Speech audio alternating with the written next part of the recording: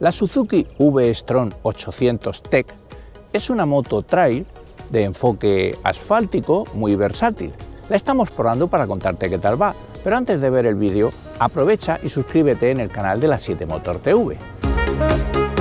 La Suzuki V-Strom 800 Tech toma la base de la V-Strom 800 DE, una trail con un enfoque más todoterreno que fue la primera versión en llegar al mercado. La 800 Tech es una variante enfocada a circular principalmente por asfalto, aunque mantiene ciertas facultades para hacer off-road. La moto tiene una longitud de 2.255 milímetros y una distancia entre ejes de 1.515 milímetros. En la estética del frontal destaca este pico de pato bajo el faro y este faro que está formado por dos ópticas en posición vertical le dan mucho carácter a la moto.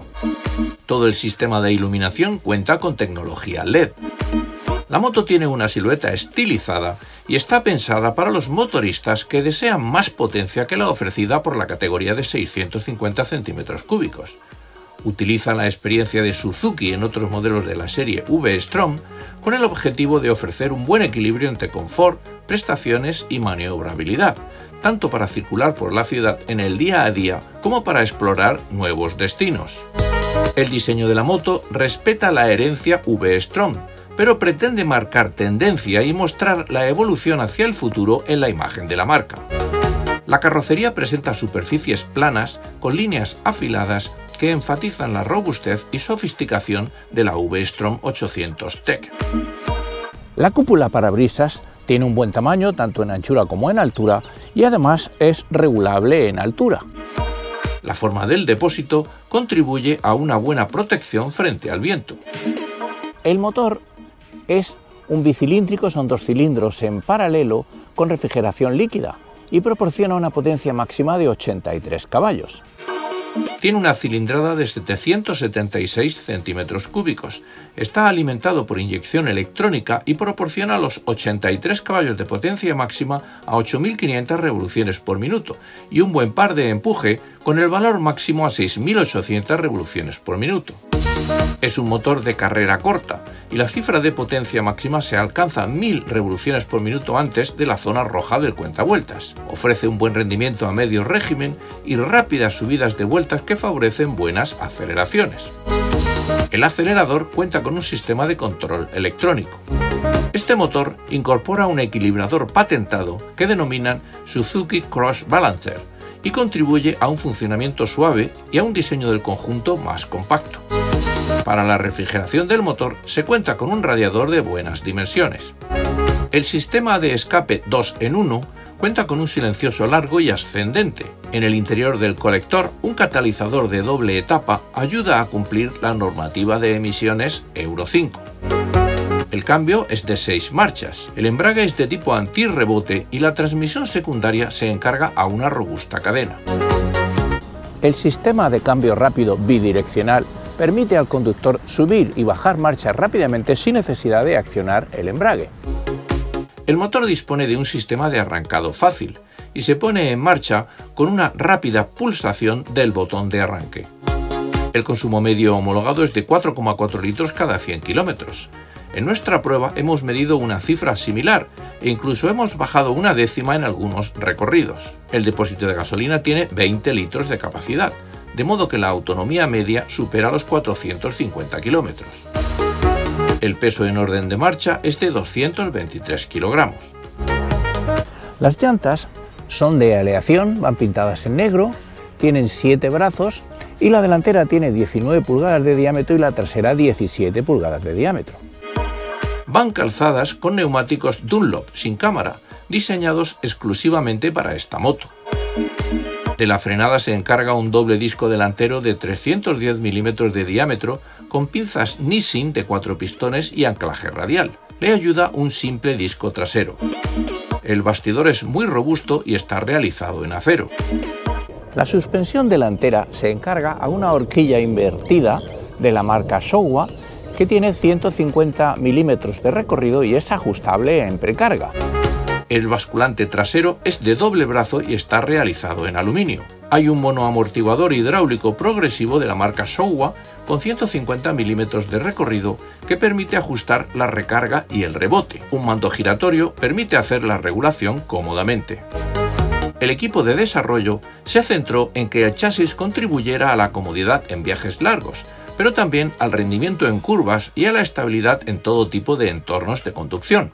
Esta moto es una opción adecuada para quien busca un buen compromiso entre confort, rendimiento y conducción en un amplio abanico de usos, ya sea circulando por la ciudad en el día a día o explorando nuevos destinos por caminos, carreteras o autovías. El asiento está a 82,5 centímetros del suelo, de modo un conductor como yo, que mido 1,80, pues llega con toda comodidad con los dos pies al, suelo. El manillar cónico de aluminio resistente y flexible contribuye a una posición de conducción cómoda.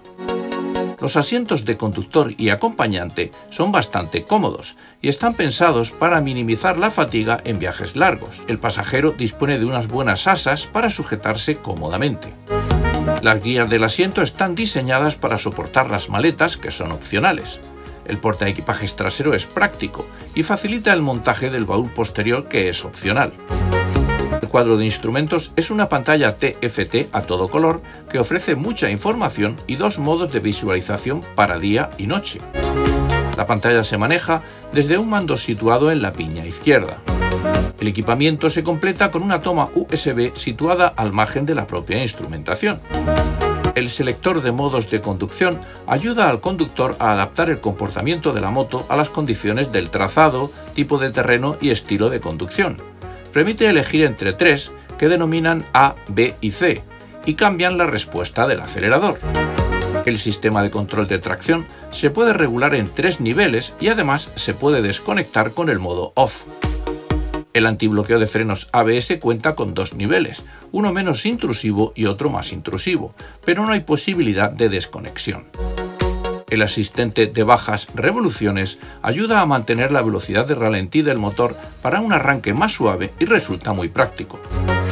La V-Strom 800 Tech ofrece un buen equilibrio entre potencia, rendimiento y comodidad. Es muy polivalente y fácil de conducir.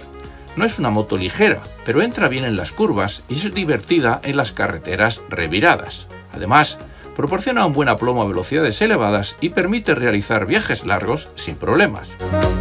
Aunque tenga un planteamiento más de asfalto que la V-Strom 800 DE, la Tech es una trail y permite salir del asfalto y circular por pistas y zonas de campo no muy complicadas. Para los que quieran más posibilidades fuera de carretera, la opción es elegir la DE. A simple vista se las puede diferenciar porque la DE monta una llanta delantera de 21 pulgadas de diámetro y llantas de radios, mientras que en la Tech las llantas son de aleación y la delantera tiene 19 pulgadas de diámetro. También hay bastante diferencia en los recorridos de suspensión, pues en la DE son de 220 milímetros, tanto delante como detrás, mientras que en la Tech se quedan en 150 milímetros. La altura libre al suelo pasa de 185 milímetros en la Tech a 220 milímetros en la DE, y el asiento en la DE queda 30 milímetros más lejos del suelo. El precio de la Suzuki V-Strom 800 Tech es de 10.699 euros y en este precio está incluido el kit de protección integral que está valorado en 960 euros. La moto se puede personalizar con una gran cantidad de accesorios originales disponibles. Si te ha gustado este vídeo, Aprovecha y suscríbete al canal de la 7 Motor TV. Tenemos muchos más que también te pueden gustar y si tienes alguna duda, tocas en la campanita, rola preguntas y te contestaremos rápidamente.